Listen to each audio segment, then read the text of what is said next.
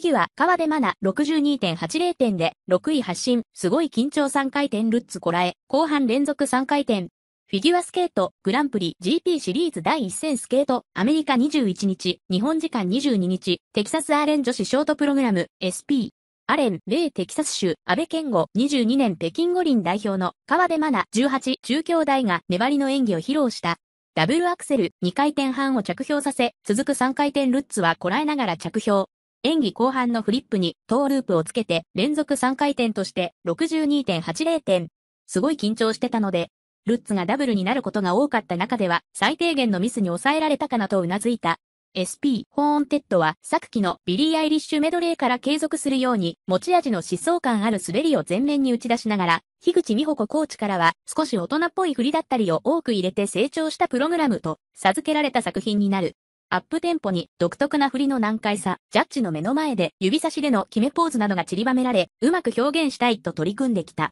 フリーは22日、同23日に行われる。あんまり順位のことはもう気にせずに自分ができる限りのフリーをして少しでも上に行けたらいいなっていう気持ちで臨めたらいいなと期した。6位発進の川辺真奈、まずまずの内容に安堵の表情大学進学後、初 GP シリーズフィギュア、21日、フィギュアスケートグランプリ GP シリーズ第1戦スケートアメリカ女子ショートプログラム、テキサス州アレン。2022年北京冬季五輪日本代表で今季の GP シリーズは今大会を含めて2試合にエントリーしている川出真奈18中京大が62.80点をマーク。出場12選手中6位で22日、日本時間23日のフリーに進んだ。4月に大学生となってから初めての GP シリーズを迎えた川辺は日本勢のトップを切って3番滑走としてショートプログラム SP に登場。冒頭でダブルアクセル2回転半ジャンプを決めて GOE 出来栄え点で0.80点の加点を獲得したが連続ジャンプの予定だった2本目のファーストジャンプが単独の3回転ルッツとなって着氷が乱れ GOE で1.18点の減点を受けた